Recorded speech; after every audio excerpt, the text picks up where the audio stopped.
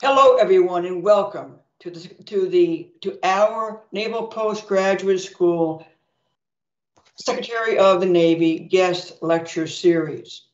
I am the NPS President, Anne Rondeau, and I'm thrilled and honored to have with us Admiral Jim Stavridis, our guest speaker, and our NPS uh, Emeritus Faculty and professor and scholar, former chair of the Defense Analysis Department, Dr. John R. Arquilla, as our moderator. They are titans in their professions. Dr. John R. Quilla and Admiral Jim Stavridis. It's remarkable to have these two extraordinary minds and intellects and scholars and warfighters within us at this moment today. I will say to you that Admiral, uh, Admiral Stavridis' most recent book, 2034, that was out March of this year, and Dr. R. Quilla's Blitzkrieg, that came out in September, have made the rounds. And I'm around many different senior officers who have mentioned those two books as seminal to their new thinking about the new problems and the new world. So for our guest speaker, the Admiral and Dr. Jim Stavridis, he retired in 2013, as you all know from his bio, and, and as a, as a four-star naval officer of extraordinary renown and successful leadership for 37 years. He commanded the USS Barry in the Atlantic Fleet, winning the Battenberg Cup for the most outstanding ship within the fleet. He also, of course, had other kinds of many commands, including a DESRON and a carrier strike group in combat. He served as, as U.S. Southern Command, but he was also the Supreme Allied Commander with responsibility for Afghanistan, Libya, the Balkans, Syria, counter piracy, and cyber security from 2009 until his retirement. If that is not relevant today, then nothing is.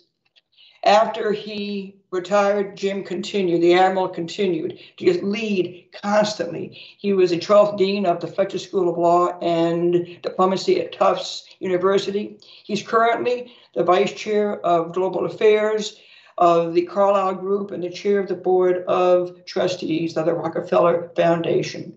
And as I noted, he has published 10 books and hundreds of articles in leading journals, and his, and his TED Talk has had about a million views. But what's remarkable about, uh, about the Admiral and the many years I have known him is that he challenges everybody to write and to think. And his his challenge to young officers to have the courage to write is one of the primary themes that the Admiral always has. So about our moderator, Dr. John R. Quilla, he is a professor and a, and a very distinguished scholar, an advisor and author. He is a distinguished professor emeritus of defense analysis here at N- NPS, where he taught from 19 93 until his retirement this year in 2021. He's been an advisor to all manner of civilian leaders during Operation uh, Desert Storm, the Kosovo War, and he's been involved in several post 9 11 matters, such as testifying in front of uh, Congress on countering terrorist networks. He has served on all kinds of small teams for President o- Obama and other leaders to help identify new directions for American defense. And like the Admiral, he has authored dozens of books covering a range of topics from irregular warfare to strategies for improving cyber security. And I will say, when I came here as the president of NPS, and John knows this, I asked for John to, to let me read some of his books and that he had identified as his best pieces of, of work. And John Arquilla has taught me many things. So, students, faculty, staff, and friends, please help me welcome our guest Admiral James Stavridis, and Dr. John R. Quiller. Over to you, sir. Thank you so much, President Rondeau. And, and thank you, Admiral Stavridis, for joining us today.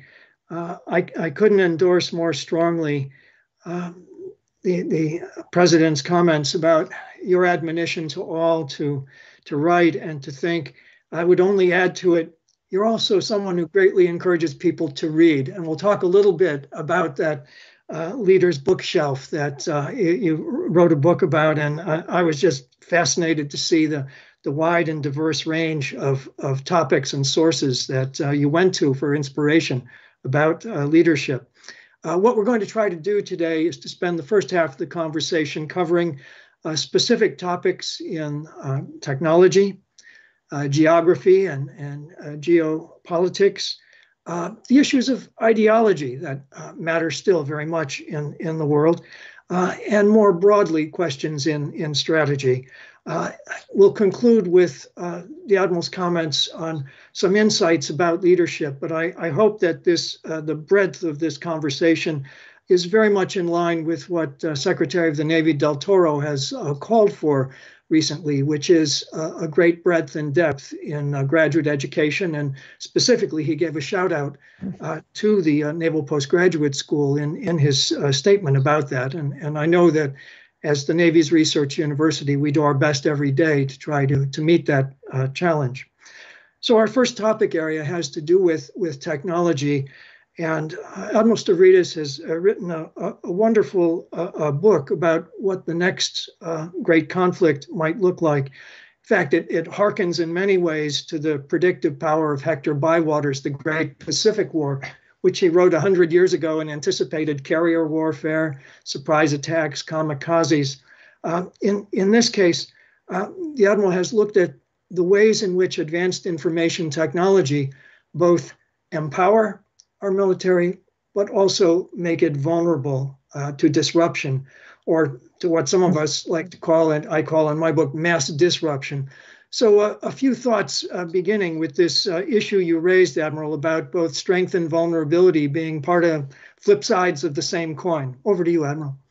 You know, so often um, our greatest strength is our greatest vulnerability, right? And we know that in life, in our personality, in the way we interact with others. It's a very common part of being human.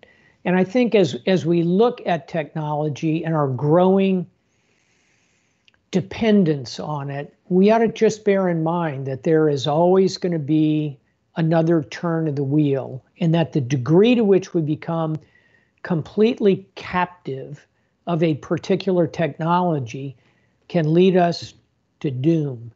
And you know, this is I hope will be a conversation with a lot of historical and literary references. So let me take you back 600 years ago to 1415 to the Battle of Agincourt. And here we see the French knights who have the highest technology of the military age plate armor. And they believe themselves to be invulnerable in this plate armor. And on a muddy field 600 years ago, facing Henry V and his English archers, they discovered that their technology, upon which they were completely dependent, was no longer supreme on the battlefield. They charged 30,000 of them across a muddy field. And by the way, here's another lesson of history. If it had not rained the night before, if the field was not so muddy, could they have moved more swiftly and overcome those archers? Perhaps. But that was not the hand of cards they were dealt. And in their arrogance and in their certainty, in their technology, they rode across their field. And of those 30,000, almost all were slaughtered by 7,000 English longbowmen.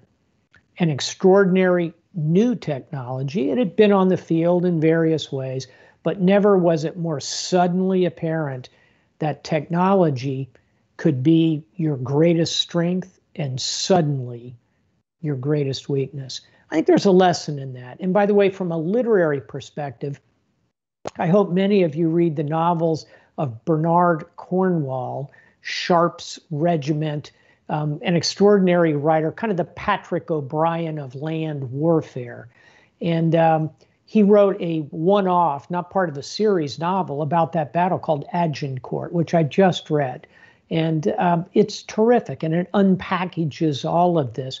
So, John, the answer to the question is yes, you can become utterly dependent on a new glamorous technology, be it cyber, space, artificial intelligence, something in biology, energy, nanotechnology. It'll enable you, it'll move you forward. But does it create a potential Achilles heel? Often it does. Well, that's a terrific example, uh, Admiral. And it, it gets me thinking about that Hundred Years' War, which the French do end up uh, winning in, in part because of cultivating artillery technology. But there was a bigger story, which was about geography is Britain's effort to try to hold land on, on the continent. So let's move to the, to the question of geography. I mean, you are among the, the, the, few of our senior military leaders to have held, well, Southern Command, Supreme Commander, NATO, but you had global responsibilities uh, there. And, and so it, it seems in, in geographical terms today, uh, certainly the United States and its friends have to think about a range of different areas and possibly the need to shift in emphasis from a Cold War era in which Europe was a primary emphasis to the Pacific region. I know Colonel Trier is going to have something to say about this a little bit uh, later in the uh, discussion with the uh, with the students. Uh, but uh, can you talk a little bit about uh, how geography is still mattering in our time? um, well, I'm sure many of you have read the books of Robert Kaplan, who is a, a, a fantastic geopolitical writer. Um, and you know, he's a journalist essentially, but he's he's become a very deep writer in in in in a variety of different high-end uh, topics here. His book, The Revenge of Geography, just the title kind of tells you everything you need to know. Um, I wrote a book uh, along these lines uh, called Sea Power: The History and Geopolitics of the World's Oceans, and it was a book that tried to take um, instead of having characters, it had oceans as the central organizing theme. In effect, each of the oceans became a character in the in the not in the not in the novel in the book. And um, in it, I would say the character ocean that has the highest potential is the Indian Ocean. And if you think about it, it's the third largest ocean in the world, um, and yet it's largely un not uncharted, but largely unexploited. And of course, India dominates it. And, and part of the big story, the big muscle movement in the 21st century geopolitically, in my view, is going to be not the rise of China, which I think is already peaking and maybe declining. It's going to be the rise of India because of demographics and a number of other factors we could discuss. But part of why I believe in the rise of India is the Indian Ocean. This vast body of water, unexploited. India dominates it with its coastlines, and it is um, an example, uh, professor, of how geography will continue to matter. And, and we could kind of walk around the world. Um, the other one I'll, I'll mention is perhaps the obvious one. And, and here, um, Robert Kaplan has written a specific book, not about the general importance of geography, but about specifically the South China Sea. And it has a very evocative title Asia's Cauldron. Like a cauldron is a, a big pot bubbling, you know, like in Macbeth with the witches around it. And as that fire burns around the edges of that cauldron, dangerous things happen. And if you look at the South China Sea, it's this enormous cauldron, right? It's China, Taiwan, the Philippines, Vietnam, Thailand, Malaysia, Australia, a little corner of it. It is a bubbling pot. And boy, it would be difficult to create uh, a greater hotspot in global geopolitics than the South China Sea. And I'm sure we'll discuss later on Taiwan and the potential of conflict there. The novel 2034 that I write about a war with China begins where? In the South China Sea with a miscalculation. And so, yeah, geography matters. And and by the way, you know, I'll I'll take the admiral's prerogative here and say the oceans really matter. We have a tendency to think that it's all about the land borders. Uh, maybe today we think a lot, John, your wonderful books like Blitzkrieg about the cyber wars and the cyber borders or lack thereof. But those oceans matter. And 70% of the world covered by water. Supply chains choking today. Why? Because of the oceans. And an important aspect of all this is to understand your point, John, that geography really matters. It matters for information technology uh, uh, too. When I think about the uh, roughly 400 fiber optic cables oh. on the ocean floors around the world, 97% of all international communications go across them. And uh, well, the Russians have uh, developed a, a, a robot uh, that can be deployed from a submarine that goes down and can either tap into or sever uh, these things. It's uh, it's really uh, quite troubling and goes to your your larger theme from 2034 about the mass disruptive effects when information flows are right. are blockaded. And, I, or, and of course, I can n- neither confirm nor deny that the U.S. has a similar capability. Well, have a little more of that uh, ouzo, Admiral, and maybe we'll get you to say some more about that. and uh, once uh, went to an event with Norman Mailer. He had a big carafe of what looked like water. And by the mid range of the meeting, it was very clear that it was gin. if, if not vodka. Yeah, I, I, love your point about the Indian Ocean from uh, from your book on on sea power, and it, it, India is geographically poised like a dagger at that Indian Ocean. Yeah, um, can I make another point about that? Um, we talk all the time about China and its one belt, one road, which mm-hmm. is terrific grand strategy, makes a lot of sense.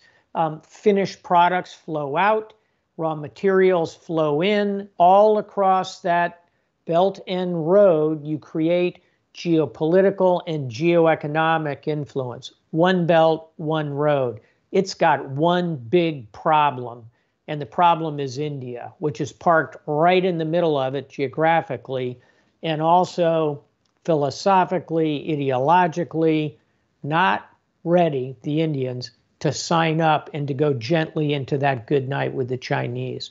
It is big casino, the role of India in the 21st century. Here, here. Uh, from geopolitics, geostrategy, let's talk a little bit about ideology. We uh, came out of a Cold War world, which was a story of freedom against totalitarianism.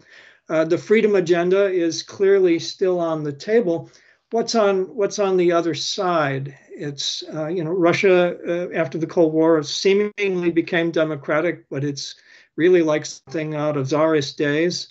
Uh, China is still communist, but how communist and how capitalist are they? Uh, what is going to be the role of, of ideology? And we know we've come out of some conflicts with ideologically driven non-state actors in the last 20 years, and and we find that you know the determination, the motivation that comes with that ideology has uh, worn down will, as, as we've seen in, in Afghanistan over over time. So, what, what's the place of, of ideology in this time, and, and where does the freedom agenda stand in a world that, even among NATO allies, is sometimes moving in the direction of more authoritarianism?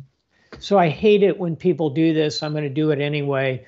Um, I wrote an article which was the cover story in Time magazine, and I encourage you to go back and, and take a look at it. Just Google Stavridis, Time magazine, democracy it'll pop right up. I wrote it three years ago. I stand by the ideas in that article, which are as follows I wouldn't bet against democracy, I would not bet against it. And one salient point I think here, John, is just look at the long throw of history. Um, you know, as you look at human society, it becomes uh, pretty unstructured, shall we say, and then becomes extremely authoritarian the ideas of democracy are relatively new, maybe 250 years old, all in, and yet look at how they have progressed in, you know, arguably 10% of the time of human history. Let's let's stipulate 2,000 years. Last 200 years, democracy's taken off like a rocket compared to where it was. And even 100 years ago, go back to pre World War One, there were 13 democracies in the world. Today, you can score it in different ways, but there are somewhere between 80 and 100, maybe 120 democracies of one form or another. I'm kind of with Winston Churchill here, who said, you know, democracy, it's the worst form of government, except for all the others. And, and his point was human nature abhors a boss. No one wants someone telling you what you're doing. You know, exhibit A of the moment would be you got to take a vaccine. People don't like to be told what to do, even when it's the right thing to do. And so I think both as I look historically at the, the long throw of history, and secondly, I look at human nature, and thirdly, and I'll close with this because I could go on for quite some time, but if you look at the quote rise of authoritarianism, wait a minute, Let, let's step back from that and unpackage it.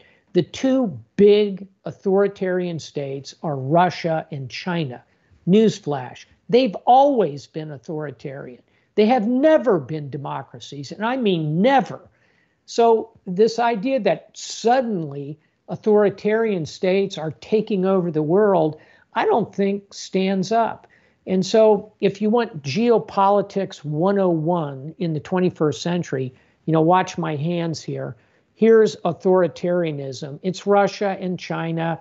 And yeah, they're gaining some adherence here and there to their model, by the way, of capitalism and authoritarianism. And I guarantee you over time, capitalism is going to win that foot race.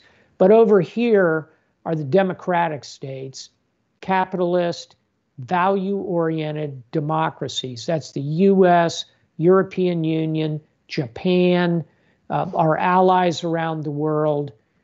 Those are the two central nodes. What's right here in the middle? India. And where India ends up on this curve is going to matter. And that's why, you know, see paragraph one about why India is like really important. India, I think, ends up over here. And, you know, who knows? This is going to play out over the next 50 years. I would bet on India as fractious and as difficult and the many challenges they face, I'm going to bet on India to kind of come this way. And assuming that is true, this critical mass will outmaster this critical mass, particularly given the constraints of human nature that I think will drive it. Nobody knows. But that's my thesis of the case. And um, that's why I would still bet on democracy. Uh, well, it's uh, useful and important for us to note that India is the world's largest democracy. If it's going to have this big role in world affairs, uh, good that they're in that that camp already. Yeah, and let uh, me let me give you a quote on that, which is uh, President Bush, uh, 43, when he went to India, he said, "I bring greetings from the world's oldest democracy to the world's largest democracy." That's a powerful line if you stop and think about it. And by the way, in that largest democracy, um, a population 1.3 billion people, 800 million people voted in the last election. Think about that. We had a lot of trouble turning out just over 100 million here in the United States. 800 million Indians turned out to vote. Um, I wouldn't bet against democracy. Well, may both great democracies be sustained.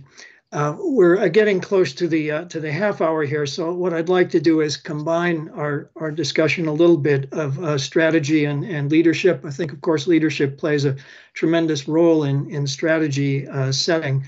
Uh, but I I hope on on the one hand you would speak a little bit to not just American strategy, but American grand strategy these days. a, a sea power thinker is by necessity a grand strategist uh, but uh, also how that relates to the notion of how uh, the cultivation of, of leadership can make for a good grand strategy. And in that regard, I mentioned earlier your uh, leaders bookshelf, and I just want to say for all in the campus community, you really must have have a look at that and the wide range of of interesting from short stories by Joseph Conrad about a, a sea captain who's uh, sheltering someone who may or may not have caused a murder, uh, to uh, Anton Myrer's wonderful uh, Once an Eagle uh, story, which spans from basically World War One to Vietnam to many, many other wonderful readings. It fascinates me how broadly and widely you've drawn for insights into leadership. So if you could address both those issues in in uh, four or five minutes, and then we'll uh, move on to uh, Major Underwood. You'll be the first of the of the questioners. But over to you, Admiral. thank you, sir. Um, I, I want to begin by going back to Lieutenant Commander Jim Stavridis and Lieutenant Commander Anne Rondeau. And uh, we were, uh, you know, mid career officers, I suppose, at that point. We had lots in common. But what we deeply shared was an appreciation of reading and the power of reading to influence leaders. And and so many times we would exchange book ideas and um, you know I've had that kind of relationship with only a few people, and and I do just want to say publicly, Anne Rondeau, Vice Admiral Rondeau, President Rondeau, how much your friendship has meant to me over the years, and this is a good point to to make. And and by the way, um, in the handful of people who have really uh, spent a fair amount of time with me talking about books, another one I'm sure who has been and uh, been part of this conversation is uh, Jim Mattis, who is a great reader and a, a thought leader in many ways. Um, so, without broadening the discussion to the thousand different things I could say about leadership, I want to really focus on reading and leading because I think the two go hand in hand. And, and the reason for that is that every time you pick up a book, you're entering a simulator. You are putting yourself in the center of a completely different universe than you're normally in the middle of. And that can be, I think, particularly powerful in fiction, but certainly in nonfiction as well. But where it becomes a simulator is when you say to yourself, what would I do right now? And as I put together the books in the leader's bookshelf, I tried to think of books that would allow particularly young leaders to think about, you know, what would I do in that moment? And, you know, there are in that uh, book a lot of, if you will, the normal books that are on every commandant's reading list and every CNO's reading list. But um, one in particular I want to uh, Uh, just park on for 30 seconds is a novel that everybody on this call probably read when they were 13 or 14 years old. And that novel is To Kill a Mockingbird by Harper Lee. And if you can remember that far back, you'll remember what it's about. It's about a trial in the South of a black man falsely accused of a rape it's about justice, about discrimination, about a young girl coming of age who watches her father make choices of extraordinary integrity to defend this accused rapist. It's a story about America today, yet it was written over 50 years ago. It is a perfect novel. And if you think about my premise that a great novel is one in which you insert yourself and you ask yourself, could I have been Atticus Finch? Could I have stepped up and done the right thing at enormous cost to myself, to my life, and put my family at risk? It's a pretty extraordinary novel. That's in the Leader's bookshelf. I'll give you another one that I, I just reread. And by the way, I'm a big believer in rereading books. You know, the the Plains Native Americans say you never cross the same river twice. And why is that? Because the river moves on. And it's like that with books. You never read the same book twice because you've changed. You bring such a different sensibility when you read a book 40 years later. When I read To Kill a Mockingbird for the second time in my 50s, it was a completely different novel, a completely different experience, set, by the way, with the backdrop of a completely different America. So, the second book that I've read, and, and you'll probably chuckle at this, but is Stephen King's novel, The Stand. And if you've not read it, stop everything you're doing and go and read it. Because how does it begin? With a massive pandemic, a super flu except instead of the relatively benign COVID that we're dealing with, it has 99% transmissibility and a 99% lethality rate. And if you don't think that's possible, you're not paying attention. And so it begins with that and then moves on to how does the world deal with the circumstances? People take a stand. They are for good or they are for evil. It's a profoundly powerful, powerful novel. So I'll close with uh, two other books I've been reading lately. Again, back to that idea of simulation and thinking about um, the world we're in now. And and people say to me, "Oh, Stavridis, you know, you wrote that novel 2034 about a war with China. You must have been thinking about Cold War literature." US Soviet stumbling into a war. No. I was thinking about World War One. I. I was thinking about Barbara Tuchman's magisterial book, The Guns of August, about how Europe, where all these economies were intertwined, where these families were interrelated by marriage, the Kaiser was the grandson of Queen Victoria of England. All of that, impossible they would go to war. Not how it turned out. In the summer of 1914, an assassin's bullet in a dusty corner of the Austro Hungarian Empire creates a conflagration.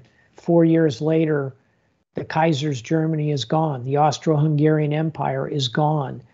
The Russian Empire is gone. The Ottoman Empire is gone. You know, as human beings, we are programmed to kind of think that tomorrow is going to be a lot like today. Yeah, maybe a few changes, but it'll be a lot like today. Boy, that's not the lesson of history. So I'll close on that one The Guns of August, a geopolitical thriller that is all too true. John? A great war that began with an act of terrorism and then drew in all the powers. And uh, in a world where our war on terror has morphed into terrorist war on the world. It's quintupled terrorism has over the last 20 years. I think we have to worry about that. And for those who will read uh, 2034, and I hope you all will, uh, escalation is one of those themes. Of course, it's the Barbara Tuchman message as as well. Uh, I've got to just take moderator's prerogative and add one suggested reading of mine. Um, you can do it in half an hour. Just Google Arthur C. Clarke's short story, superiority. It's about how the side in an interstellar war with the advanced technology was defeated because of their advanced technology, which is, I think, another of the subtexts in uh, 2034 as well. Which brings us to our uh, period of uh, interaction with uh, students in a question and answer period. Uh, and uh, we're going to begin with Major Nicholas Underwood, who's actually studying the issues of technology strategy. And as Admiral Stavridis knows, he's an Air Force special operator. So I won't uh, repeat his uh, introduction to the Admiral, but to uh, the campus community. He's in the Defense Analysis Department and, uh, and doing work in the area of technology strategy. Major Underwood, over to you. Uh, thank you and, for coming today. Um, question earlier, and uh, how can you tell when a service has become over dependent on advanced technology? Uh, is there an inflection point where the advantage gives way to vulnerability? Yeah, that's a, a marvelous question, Nick. And you know, I'm I'm tempted to say it'll happen right in front of you. And go back to the example of the Battle of Agincourt, where your exquisite technology suddenly fails.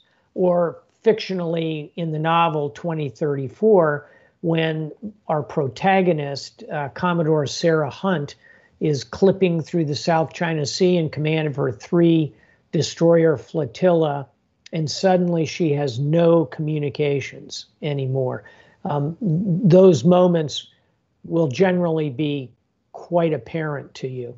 But I think there are some tippers that come before those points, and they have to do with how we use training, exercises, and simulations. And I know that Charlie is here at the postgraduate school studying simulations.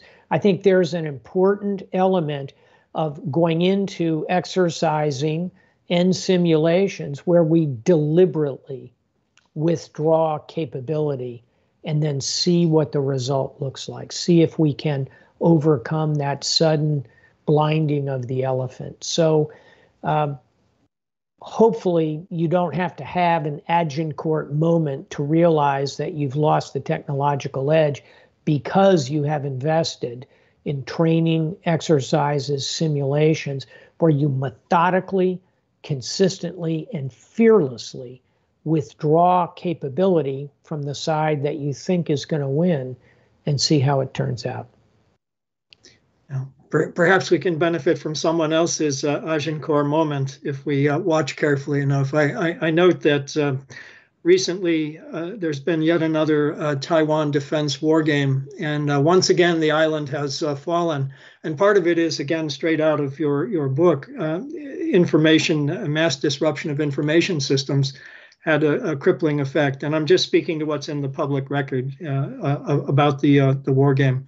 Uh, we'll get to that with uh, uh, um, Major Rowan in a in a few moments. But right now, let's go to Lieutenant Colonel Trier, uh, who's uh, doing national security studies uh, related to the Indo-Pacific theater. He's with the German Army Reconnaissance Branch. he's been at NATO in Brussels, and he'll be going to the German Ministry of Defense after graduation in in Berlin. Colonel Trier, please. Thank you very much. Um, thank you very much for having me the question. Uh, as former SACEUR and COMIS EUCOM, I assume you have made uh, a lot uh, the experience that sometimes um, consensus finding amongst allies is consumed and sometimes leads to solutions that may not always be optimal uh, from an operational point of view. Uh, so my question would be, given your experience, what would be your perspective to the popular assumption that the US would be better off uh, with short-term coalitions of the willing instead of investing further into seemingly unflexible alliances? Thank you very much. Well, thank you, uh, Dankeschön. Um, I would say that we need both um, you know, as a former SACEUR, I'm invested in the idea of NATO. And and let's just let's stop for a minute and just kind of do the numbers on NATO. They're really quite remarkable. Here is a formal alliance, 30 nations today, has 3 million men and women under arms, almost all of them volunteers, 28,000 combat aircraft, 800 ocean going capital ships 50 AWACS, a overall defense budget of $1 trillion, dollars 700 billion US, 300 billion European. Um, there has never been an alliance remotely with the capability. And then, secondly, it is an alliance with shared values democracy, liberty, freedom of speech, freedom of education, freedom of the press, gender equality, racial equality. We execute them imperfectly, but they're the right values and we share them. So we should not, in my view, be quick to discard the power of an alliance structure like NATO. Now, alongside that, as we look at the intractable problems of this century, it is clear that we can address them best through less formal structures. And so here I would put something like the Coalition Against the Islamic State, which my dear friend and Naval Academy classmate General John Allen led after he retired from the military as a presidential envoy. 77 nations are in that coalition of the willing, as you correctly articulate.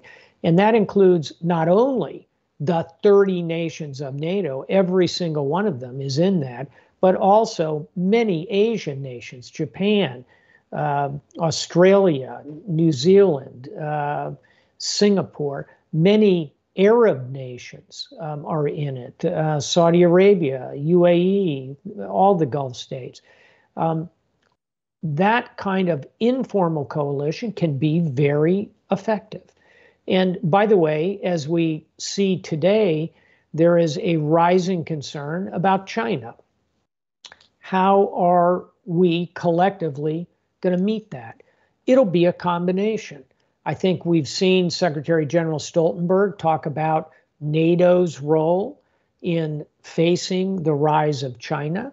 Uh, at the same time, we're seeing a kind of coalition of the willing in the so called Quad nations India, Australia, Japan, and the United States.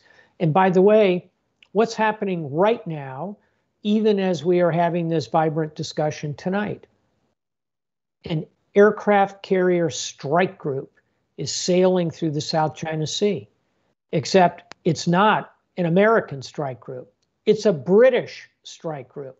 It's centered on the Queen Elizabeth, a 65,000 ton aircraft carrier two British destroyers, two British frigates, a Dutch frigate, an American destroyer, two British logistic ships, a British nuclear powered submarine. That's a carrier strike group. It is there, not exactly representing NATO, but kind of on the cusp of NATO. A lot of the planning was conducted through NATO command structures, and it's there indicating the rise of informal coalitions, putting the Quad alongside the United Kingdom. And by the way, your own nation, as you well know, has committed to deploying uh, naval warship to the South China Sea to conduct freedom of navigation patrols. The French will continue to do so, um, alongside Japanese ships, alongside Australian ships. So I think the answer to your question is that formal alliances like NATO, like the bilateral formal alliances the United States enjoys with Japan, South Korea, Singapore, Thailand, even the Philippines, these are formal alliance structures, will continue to matter. And at the same time, informal structures will matter as well.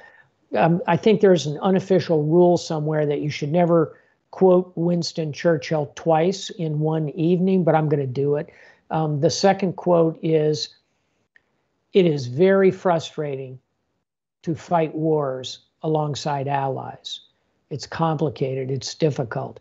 But Churchill said, The only thing worse than fighting a war alongside these difficult allies, the only thing worse is fighting a war without any allies. And so the pragmatic part of me says, yeah, NATO can be frustrating at times. Believe me, I know that better than anybody on this call. Um, informal coalitions can be difficult to put together and keep together, but it still beats the hell out of not having any allies with you. It's a wonderful quote from uh, uh, Churchill. It reminds me that the uh, the day he uh, learned of uh, Pearl Harbor, he was uh, in the bathroom shaving. His son Randolph ran up with the news, and Churchill turned to his son and just smiled and said, "Ah, we've won," because he knew he now had the coalition partner that would uh, uh help to win the uh, to win the war. Uh, coalitions, formal or informal, are complicated things, as the admiral noted. Lots and lots of resources, operations uh, globally. raises the question of logistics. And Captain John Espinosa of the Air Force, uh, who's a, a, student in the, the Graduate School of Defense Management, is uh, specializing in the area of innovation, in the area of logistics and supply chains. So uh, over to you, Captain. Next. Thank you, sir, and thank you, Admiral. So the question I have for you actually ties back to your uh, recent drop for uh, 2034. Um, as a recent graduate student just arriving here, uh, what would you recommend is uh, something we should have in our mindset moving forward with geopolitical knowledge? And what areas of research would you recommend we pay attention to?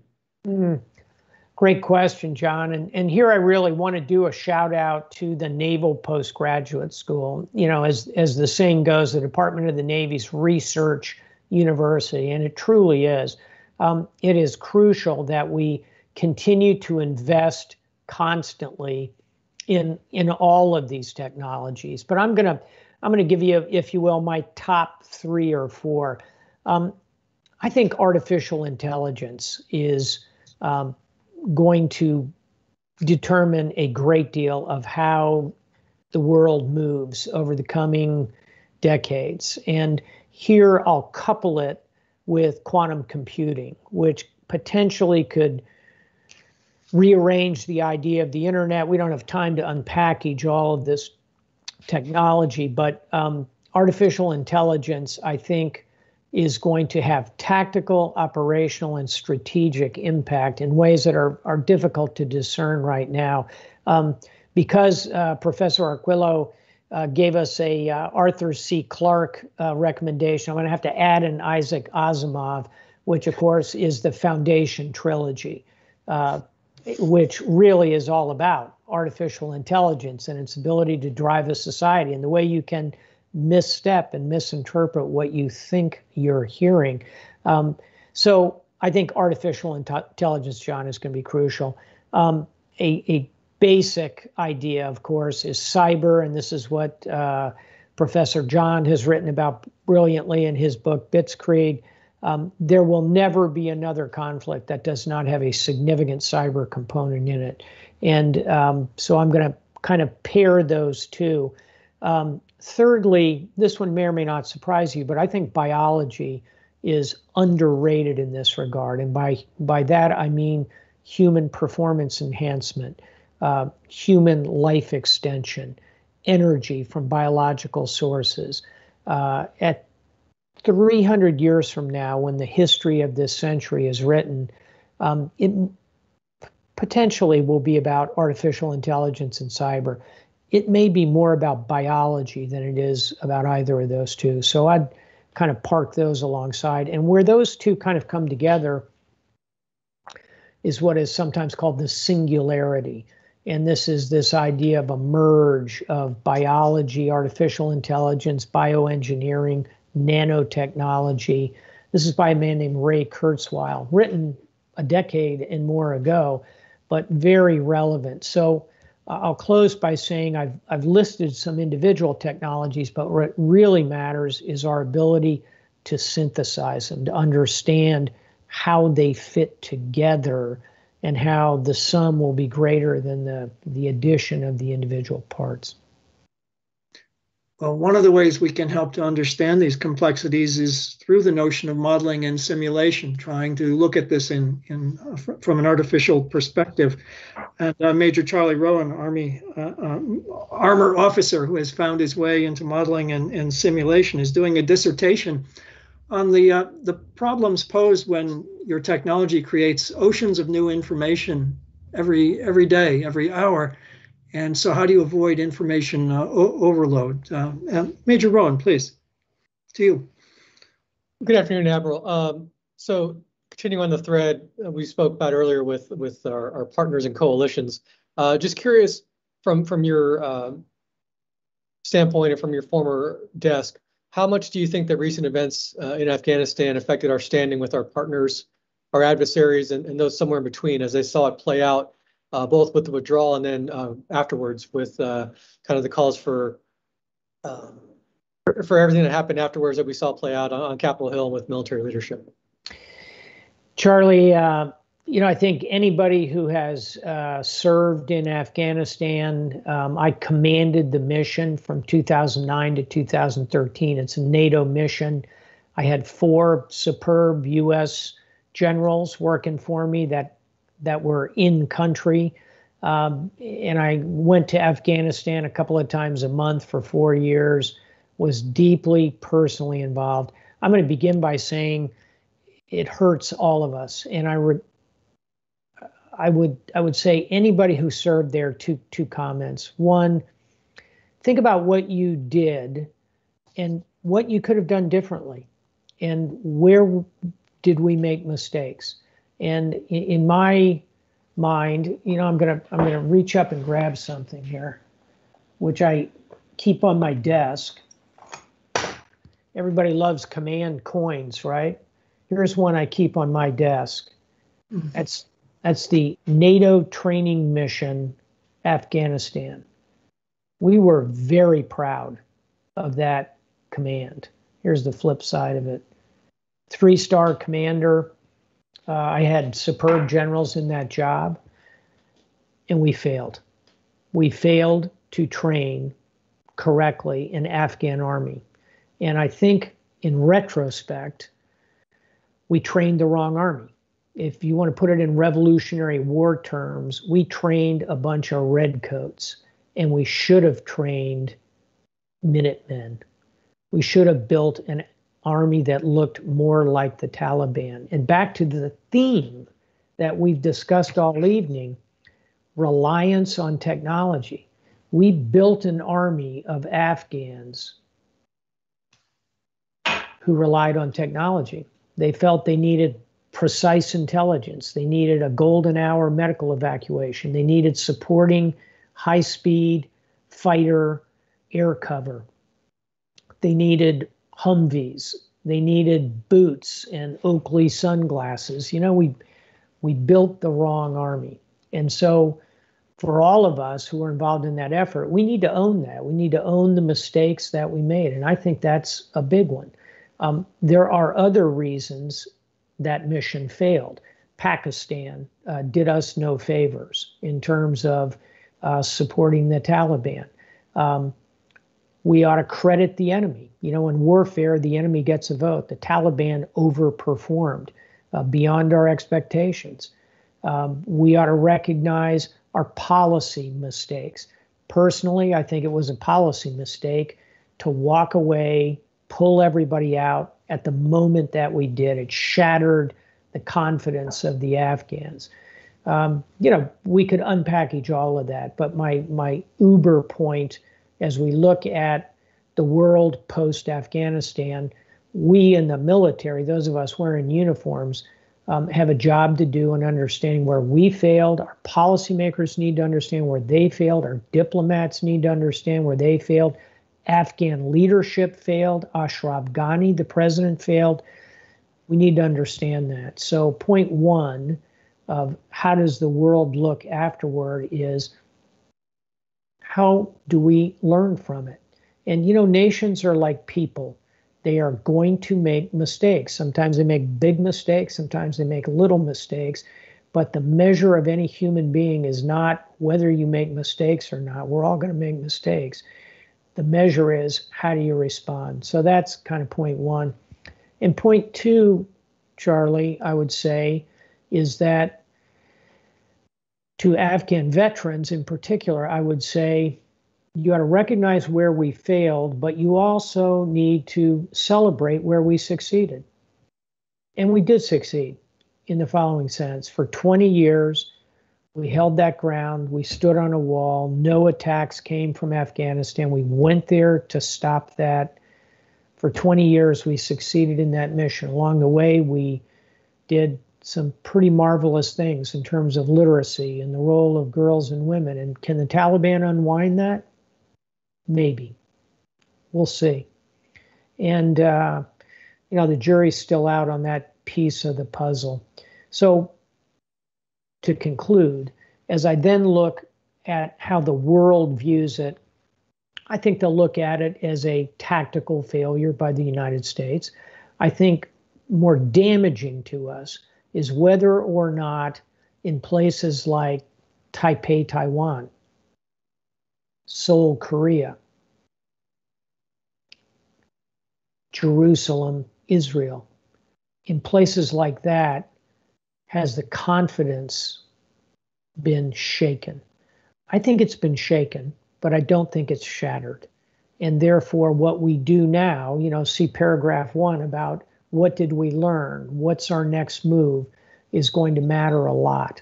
And therefore, my prescription for the Biden administration would be a lot of personal visits, a lot of exercises and training, a lot of forward leaning engagement with high technology.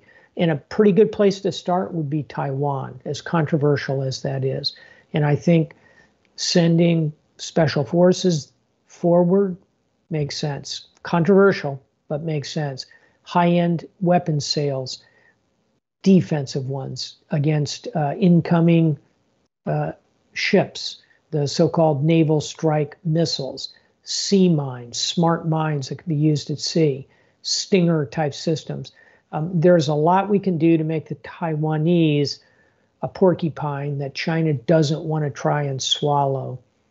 I think what we do now matters a lot, and engagement internationally is the heart of what we need to do if we're not going to reap the whirlwind that could come out of that particular failure in Afghanistan. So again, shaken but not shattered. That's distinct from a Bond martini, shaken but not stirred. Um, this is shaken but not shattered. Thanks. Uh, just a footnote, uh, Major Rowan, a lot of people are comparing the uh, fall of Kabul to the fall of Saigon in 1975. Uh, yeah, that was a terrible event in 1975. 15 years later, Soviet Union goes out of business and the United States and its allies and the Freedom Agenda win the Cold War. So beyond adversity, there's learning, there's light. As uh, I just want to second what the Admiral said about an unflinching look at what happened and uh, a confidence uh, in ourselves as we as we move ahead. Can I also add a thought to that, John, which is sure. um, a pretty simple one, which is you never know. You never know how the wheel is going to turn. And today, Vietnam, arguably our strongest potential partner in the South China Sea. And boy, do they want to be with us. Yeah, and, and they uh, they gave it pretty hard to the Chinese when China invaded them back in 1979. Of course, they gave us a pretty thin time too. Yeah, so and, it's and I'll, great I'll, exactly. And I'll give you another plus that compares with these two situations. The fall of Saigon led to what? It led to a mass exodus of refugees to the United States of America the Vietnamese American community, I don't need to tell a bunch of people living in California, have been extraordinary here. I predict the Afghans will be the same. And it, it has nothing to do with Vietnamese or Afghan or wherever people come from. It has to do with how hard it is to run the gauntlet and get here.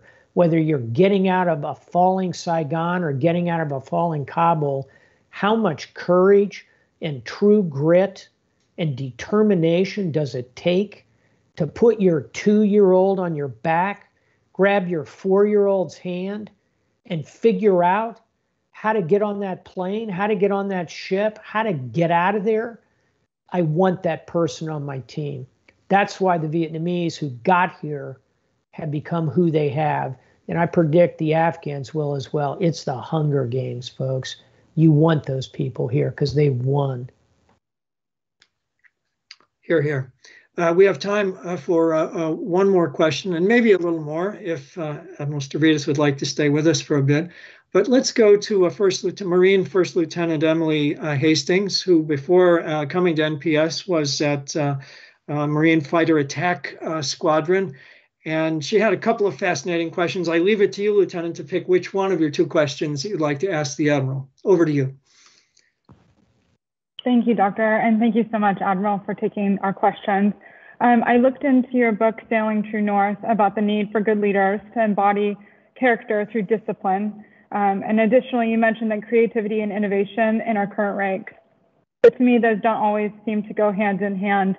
So my question is, how can we better create leaders that share these same sentiments? And what do we say to the current leaders that do not support organizational change towards building pioneering leaders? Mm. Well, I think this is uh, not only a great question, but a good one to close on because it, it brings us back to the Naval Postgraduate School, which is, as we've talked about, about technology, about knowledge, about uh, driving research to find the right answer. But right alongside it, and this is the power of the Naval Postgraduate School, are the fundamental issues you just raised in your question, Emily, which are leadership and character and risk. I think the ability to balance those three things and then harness it with technology is really the key to creating the kind of leaders we want. Um, you know, when I went through the Naval Academy in the late 1970s, otherwise known as 1.2 million years ago, when I went through there, it was all about the science and technology. This was Navy nuclear power and and you know mandatory. Everybody had to major in uh, high technology majors, and you know I was someone who never quite fit in the you know the pegs, and um, because I had a high SAT score in mathematics, probably due to a computer error of some kind, my score was high enough that I was required to major in a technical field. And, you know, thus I did. But my heart was in literature, was in the humanities. And so I, I managed doing overloading and coming in the summers and giving up my summer leave to actually do a kind of a combined program in both engineering, electrical engineering principally, and in English literature. And I, I will tell you this throughout my career, I've touched on both of those, and they've both been important elements in my success. But I'll tell you this every single day, I have used the character, the leadership, the writing skills, the communication skills that came with my humanities education. I needed that technology, of course, but it was really the blend, the ability to have both of those that I think is so crucial. And that's why I'm, I'm so pleased to be part of this fora tonight um, to discuss not just um, these kind of technical questions about where our military systems are going, but also how reading and leading fit together and how at the end of the day we've got to find a way to, to bring those two things together. So uh, my short answer to the question is um, y- you need both. You need both those skill sets. And I think that under the leadership of uh, Admiral Rondeau and with extraordinary professors like John Arquilla, um, students like all of you and all of those listening in this community have um, a place where you can pursue both and be part of this uh, marvelous synergy that occurs when you harness both of those streams of human endeavor. Hey, it's been a pleasure being with you tonight. Um, thank you for having me. I hope you all, uh, when it becomes five o'clock in California, you go enjoy a glass of ouzo or a glass of wine. Um, Admiral Rondeau, I'll be in touch personally on a couple of different things. Thank you, ma'am. Well, uh, Admiral, that was a wonderful comment to uh, to close on, and uh, on behalf of the whole campus community, uh, you know, our sincerest thanks for your sharing this time uh, with us, for the wonderful insights, and and I think everything you said is so closely in line with what Secretary of the Navy Del Toro has suggested about the need to cultivate breadth and, and depth. With that, I'll pass it over to President Rondeau. Admiral, we, we normally give our guest speaker a final word, but I think that your final words were the words of wisdom and insight and, and that will touch our leaders. We will be delighted to have you here anytime. And just thank you. This has been a marvelous time. And, and we have a, a, a number of questions that have, have come up in the chat. With your permission, I want to say it out loud here. I'll send you those questions just so you see the kinds of things that our people are thinking about and what our students wanted to ask you. I'll be happy to send those to you so that you see those, and I look forward to seeing you sometime soon, soon, sir. My pleasure to all. all. All the best, and thank you to the students for some great questions tonight. Thanks, everybody. Aye, sir. Out, out here.